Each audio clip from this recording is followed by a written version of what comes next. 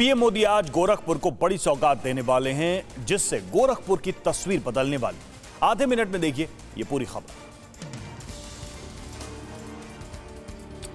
PM Narendra Modi चुनावी राज्य UP में आज गोरखपुर को छियानवे सौ करोड़ रुपए की विकास परियोजनाओं की सौगात देने वाले हैं जिसके ज़रिए पूर्वांचल के लोगों को साधने की कोशिश की जाएगी। प्रधानमंत्री नरेंद्र मोदी 8,603 करोड़ रुपए के गोरखपुर खाद कारखाना 1,011 करोड़ रुपए से गोरखपुर में ही बने पूर्वी उत्तर प्रदेश के पहले एम्स और 36 करोड़ की लागत वाले आरएमआरसी के हाईटेक लैब्स का उद्घाटन करेंगे। पीएम मोदी के गोरखपुर रैली को लेकर पूरी तैयारियाँ कर ली गई है। प्रधानमंत्री के लिए मंच तैयार हो गया और सुरक्षा व्यवस्था भी चाक चौबंद कर दी गई है।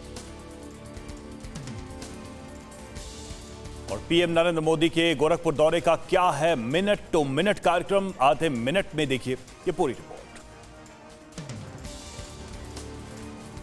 गोरखपुर को सौगात देने के लिए पीएम मोदी सुबह ग्यारह बजकर पाँच मिनट पर दिल्ली से रवाना होंगे। पीएम मोदी दोपहर बारह बजकर पच्चीस मिनट पर गोरखपुर एयरपोर्ट पहुँचेंगे, जिसके बाद पीएम कार्यक्रम स्थल के लिए रवाना हो जाएँगे। पीएम दोपहर एक बजे से दोपहर दो बजकर पंद्रह मिनट तक गोरखपुर को कई सौगात देंगे, जिसमें H fertiliser plant, AIIMS Gorakhpur सहित कई योजनाओं का लोकार्पण करेंगे।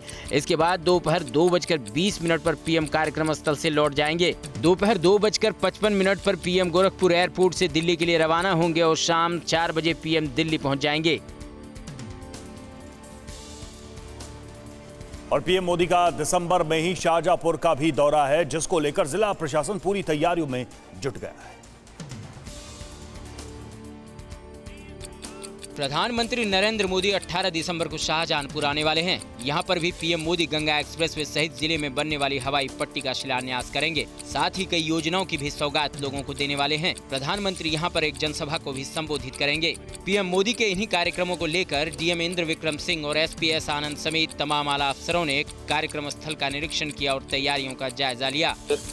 ये एक रोजा रेलवे ग्राउंड है, जहाँ पर माननीय प्रधानमंत्री जी हेतु जनसभा आयोजन स्थल की तैयारियाँ की जा रही हैं।